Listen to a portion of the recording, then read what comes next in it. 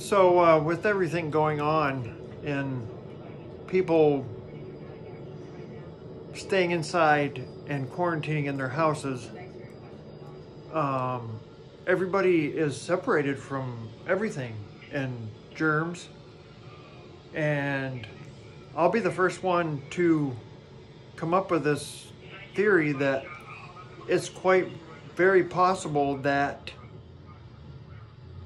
once society and people start mingling back together, and are, are we going to be exposed to our immune systems are going to be reset? Are they going to be reset?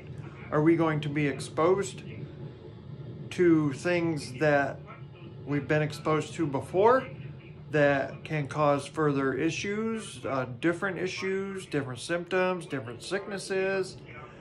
How I I'm sure this is another experiment by whoever's doing this um, or whatever. I don't know. Um, I, I have a real fear that our exposure when society gets back together, there may be things out there that we have been exposed to in the past that could react differently with our immune systems or new diseases or viruses that are not known that will attack our immune systems that have been, for all intents purposes, reset. I, I, I'm not a doctor, so I don't know these things for sure. I'm just speculating.